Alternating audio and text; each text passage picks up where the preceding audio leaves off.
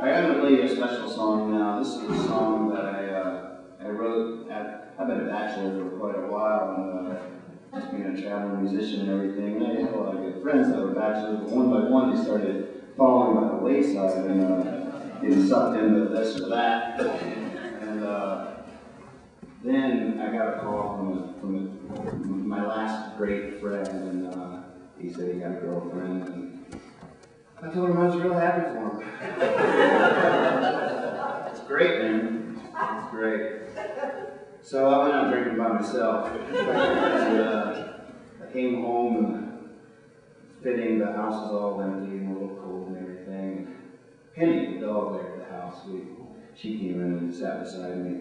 We started singing a song. Uh, I'll be darned if we didn't write this song together. And, uh, it, she can't be here tonight, but uh, maybe you guys could do Penny's part. Um, it's called Howling in a Hollow Moon, and, uh, and she just she just howled right along. I mean, she really wrote the chorus.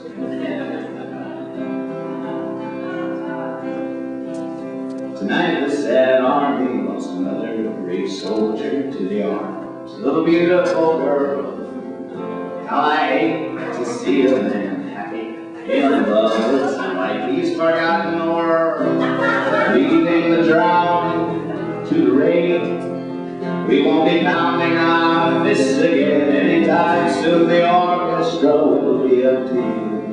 I'll be howling and a hollow moon.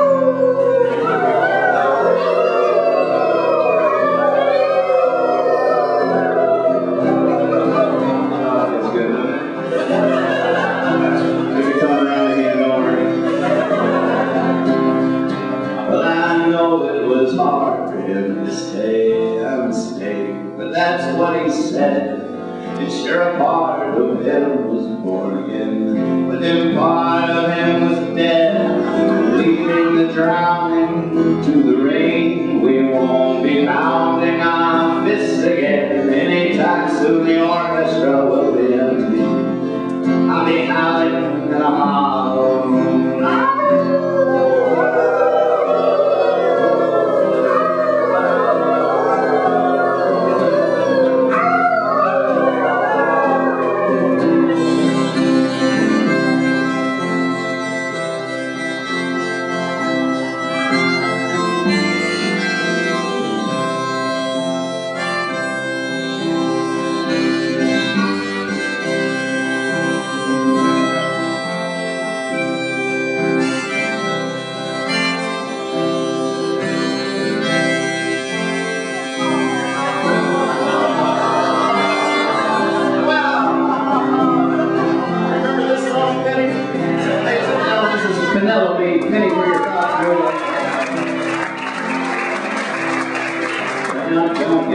wrong, the words to this song, I'm not trying to die alone. But it's a heartbreaking, breathtaking thing to behold. A man no more on his own, leaving the drowning to the rain. We won't be pounding our fists again anytime soon. The orchestra will be empty. I'll